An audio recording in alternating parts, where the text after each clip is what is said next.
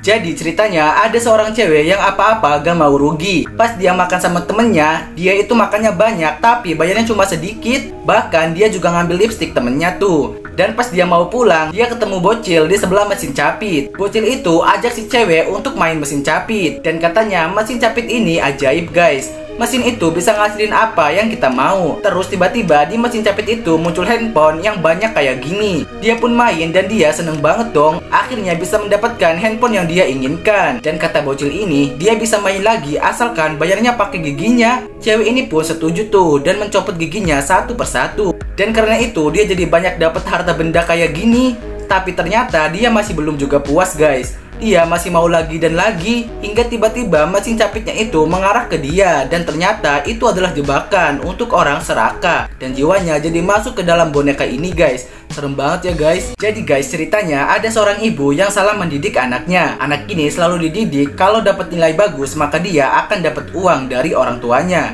Si bapak pun gak setuju tuh karena itu gak baik sama sekali. Sampai akhirnya ketika anak ini sudah besar, dia dapat nilai kecil nih, tapi karena takut gak dapat uang, dia jadi tulis sendiri tuh. Nilainya jadi gede gini, sampai di rumah dia nagih nih sama ibunya. Tapi si bapak marah-marah dan gak mau kasih uangnya. Terus cewek itu juga marah-marah ke pacarnya dan selalu ngancem bakal mutusin kalau dia gak mau kasih uang. Suatu hari si ibu jatuh sakit tuh, tapi cewek itu selalu minta uang terus hingga tiba-tiba muncul banyak uang dari kamarnya. Ternyata uang itu muncul dari sebuah koper. Cewek itu pun menghampiri koper tersebut dan tiba-tiba dia jadi ketarik ke dalam koper itu. Makanya guys, jangan serakah ya, jadi kena azab deh.